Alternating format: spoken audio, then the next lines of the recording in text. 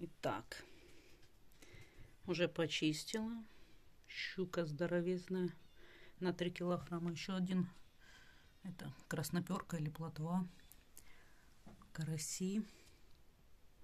Хорошие карасики. Сейчас буду жарить. Поменьше щуку, наверное, закоптим. Большую пожарю. Вот такая вот.